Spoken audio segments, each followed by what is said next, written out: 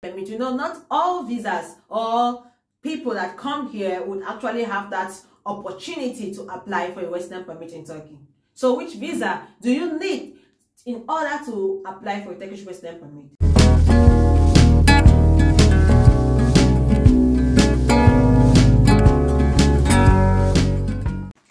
Hello guys. You're much welcome back again to our youtube channel. This is lydia labella and in today's video i am here with mr kepsin a business consultant and an educational advisor. So guys in today's video we have a lot to talk about we promise you guys that we are going to come back to talk about Turkish resident permits for foreigners. So stay tuned. And make sure you watch this video to the end because at the end of this video, we are going to be giving you guys some tips and some important information about scholarship in Turkey. So guys, let's go to Mr. Kepsin. You're much welcome back again, Mr. Kepsin, to our channel. It's a pleasure having you here again. So what do you want to say for our viewers out there? Hello viewers all over the world. Thank you very much. This is my second time to be in Lydia Labelle TV show platform. So I hope that you guys are going to get a lot of information. So stay tuned. Okay guys, you guys know our platform is all about education now. So in today's video, we are going to be talking about Turkish resident permits for foreigners, how to apply and different things that you need to understand when it comes to Turkish resident permit. So guys, we have a lot of questions here for Mr. Kepsin. He's good indeed. So that is why I keep bringing him here to educate my viewers. I have gotten a lot of questions into my inbox to talk about this resident permit issue. So that is why we are here. So the first question I have here for Mr. Kepsin, who are those eligible to apply for a resident permit in Turkey? I think everybody is eligible to apply for a resident permit in Turkey. Uh, so uh, if you come from uh, let's say all the continents in the world and you uh, you want to visit Turkey for your first time and when while you're here and you want to extend your stay so you have to apply for a resident permit. So there is no like uh, let's say there's a, there's no law that say this person is forbidden from applying for resident permit except that you you you you were you came here before and you had some issue whereby uh, you overstayed and you didn't want to pay for your penalty and they ban you from coming here for five years so there are these are the people that cannot come to turkey kind of okay guys so you have listened from the horse's mouth mm -hmm. so everybody is eligible to apply for a Turkish resident permit so far as you came in here legally. So, Mr. Kepsin, which visa requires a Turkish resident permit? You know, not all visas or people that come here would actually have that opportunity to apply for a resident permit in Turkey. So which visa do you need in order to apply for a Turkish resident permit? Well, uh, I think uh, as as a student, if you're coming here as a student, you need a student resident, uh, let's say a student resident permit, but first a visa. You need a visa. And after that, uh, you also need uh, a business uh, visa to come to Turkey. Then they can issue a residency. And also you need, uh, uh, let's say, sport visa that is, if you are a footballer in your country and you are registered in the in your country football federation and you have a team there, and the team in Turkey invites you, that there's there's a process where two agents are going to speak with it. That's the both agents are going to speak with the teams, and then when you come in like a footballer, then the, you have the right to apply for a resident permit. Um, also, medical reasons. If you come here with a visa for medical reason, health reason, then you have the right to apply for uh, residency. So, as I said, student visa, business visa, sport visa, particularly a football team inviting you in Turkey to come and play football.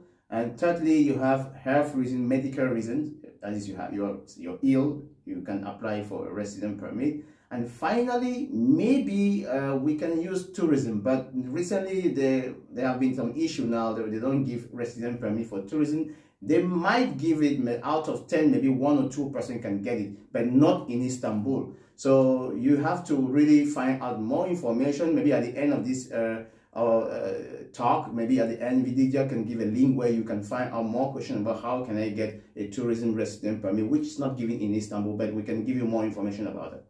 Okay, so it means there are also some visas that if you use it to come to Turkey, they won't give you a Turkish resident permit. Yeah, I think something like conference visa. That you will come with a conference visa. I don't I don't think that you have a resident permit. Wow. so guys, you listen very well. When coming to Turkey, make sure you don't take a conference visa, especially when you're coming to stay. You know, most of us in Africa we use different visas to come here to make you know a year, two years. So if you come here with a conference visa, you won't be given a Turkish resident permit. So after your visa expires, you go back, even before it expires.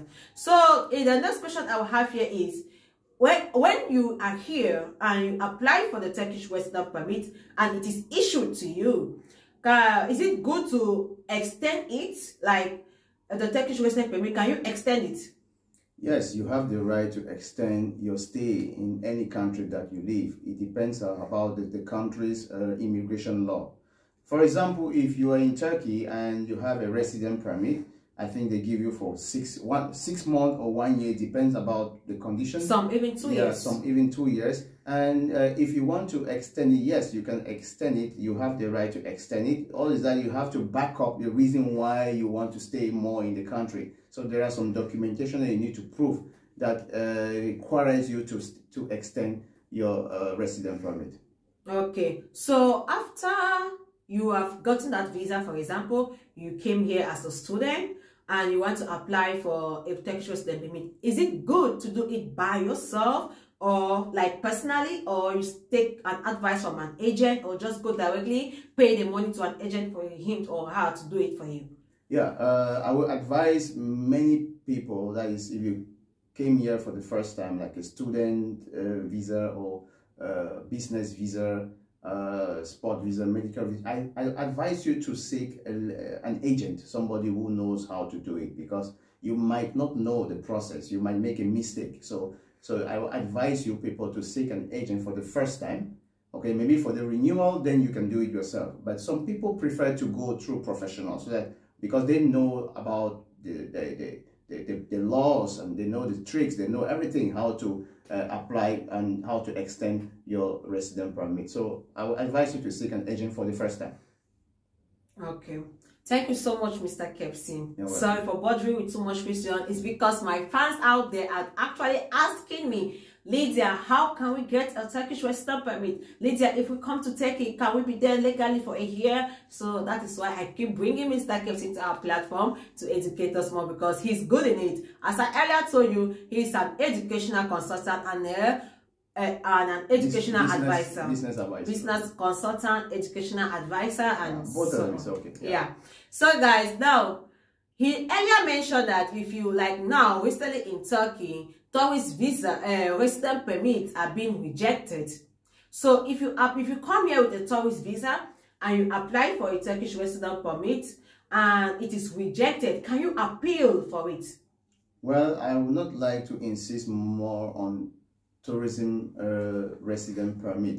Uh, I would like to take like business uh, visa and you apply for a business resident permit and it, it's been rejected. So when it's been rejected, uh, some people don't know if it has been accepted or it has been rejected. But if you find out that it has been rejected, you have to go to the immigration center where you had an appointment. They will give you a paper of uh, rejection and there they will state the reason why they rejected your resident permit application. And they also say you have the right to apply. Then yes, you have the right to apply, but you have to seek for a lawyer, a legal lawyer who is going to process your document. Maybe he will give you from the court, they will issue you a paper of exemption. I think it's for almost a month or one and a half month where you can circulate freely while they are processing your documentation for you to obtain your resident permit. Many people don't know that when they are rejected, you just say, okay, that's it for me. I have to go back to my country. But if some people legally go back to their country to take another visa to come back, it's good. But if you find out it's difficult for you to go back, then you have to use this process where you seek a lawyer and the lawyer will now go to court. They will give you a paper of exemption whereby you can circulate free for one and a half month. Meanwhile, within that period, they are trying to find out a way where they can now reconsider your residence. Okay. Thank you so much. So there, I have another question here. Uh, what can you do to know your status of your resident permit application? Well, uh, there is a number. They call the number is uh, 157.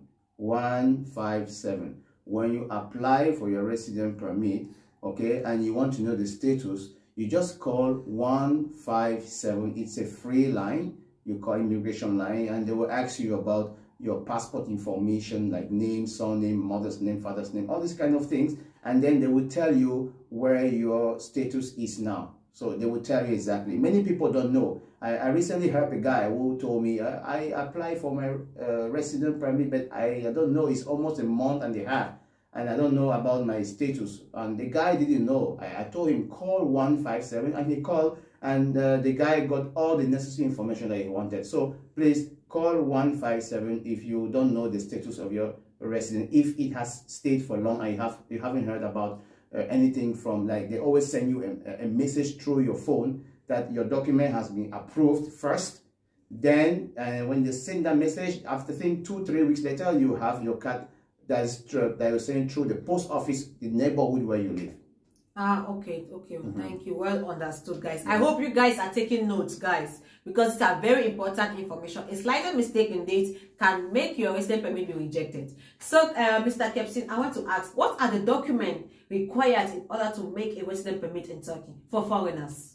Well, the documents are like, for example, uh, if, let's take it according to the visa because it, it, it, it differentiates according to visa. Okay. Uh, so if, let's say a student's visa, that one is the school themselves will offer you all the document you need to because sometimes the school will process your student resident permit, not you, because they have a connection with an agent who will do that. So you don't worry about that one. So secondly, uh, for those who come in business visa, I think uh, generally you need a house contract. You must look for a house. And that house it must be registered maybe in the in the population department. That is the the, the district where you live there is a there is a municipality there you have to register. Secondly um, most people you need something like uh, a bank account. If you can have it no problem for the first time. And then uh, you have to those documents are just very easy for you to obtain.